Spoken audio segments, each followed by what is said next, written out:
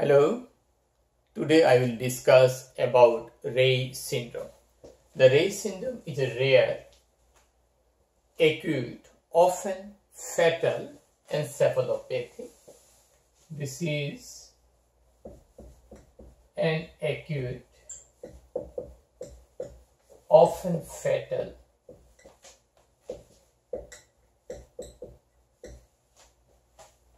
encephalopathy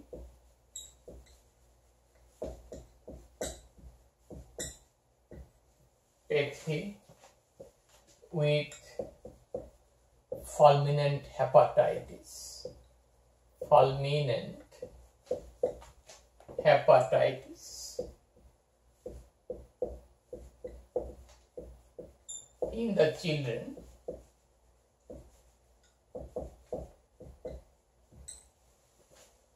associated with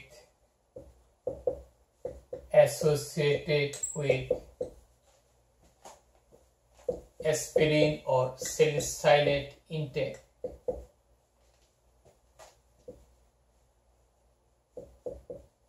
Aspirin that is salicylate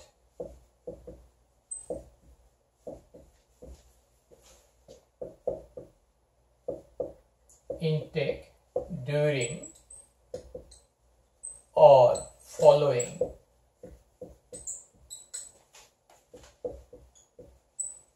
a viral infection.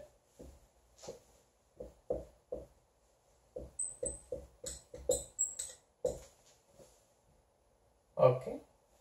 Viral infection like chickenpox or varicella infection chickenpox or influenza or other viral infections influenza okay. So we got the definition a rare acute often fatal encephalopathy of childhood marked by fulminant hepatitis in children associated with aspirin salicylate intake during or following a viral infection like chickenpox or influenza. Okay. So we have some temporal association, some epidemiologic association, like the viral infection, like chickenpox or varicella infection, varicella infection, or influenza, or other viral infection. So we have aspirin or aspirin like substances like bismuth salicylate okay? So like that aspirin or aspirin like substances. Or the oil of wintergreen aspirin or aspirin like substances okay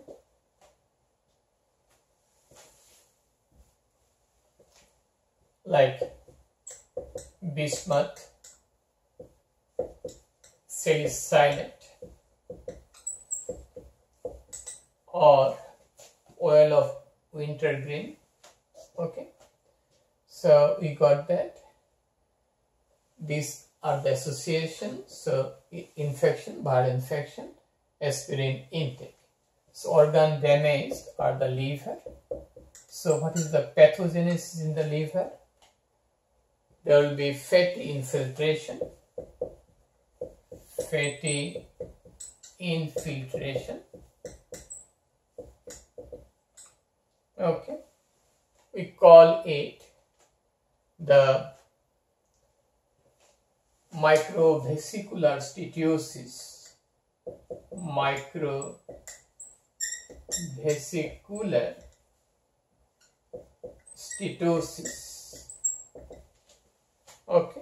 Microvesicular steatosis and mitochondrial damage. Mitochondrial damage to the cell like the hepatocyte. Okay. So there is mitochondrial damage so that may be associated here. Liver in the in the brain will get the encephalopathy. There will be cerebral edema. Edema. And increase intracranial pressure. Increased intracranial pressure intracranial pressure okay. So liver and brains are affected. So as because liver is affected so there will be some metabolic problem. We'll get liver and fatty infiltration. We may get hepatomegaly enlargement of the liver patient may have hypoglycemia. Glycemia. Okay. In the brain we'll get the CSF it is not it is not an infection. Okay. It is encephalopathy. Okay. So CSF will show less leukocytes leukocytes okay.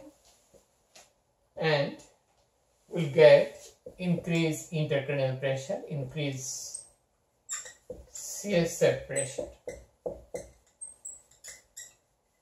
Pressure. So we got that. So it's because brain is edematous increase intracranial pressure. We'll get this patient will show drowsiness.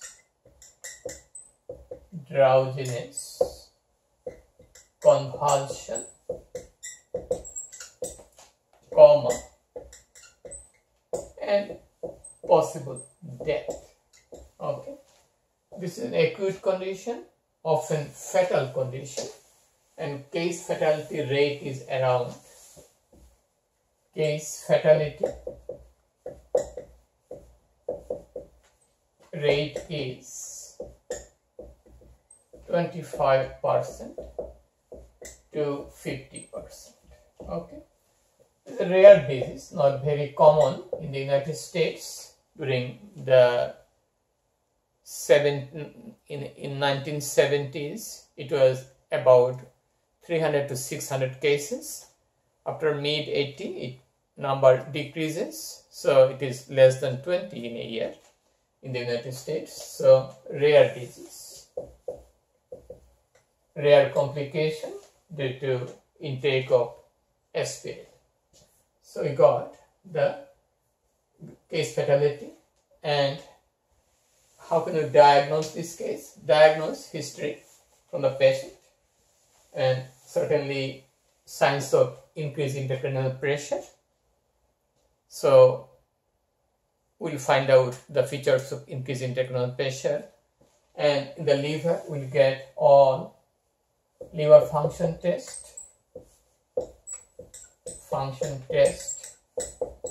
We'll see increased transaminases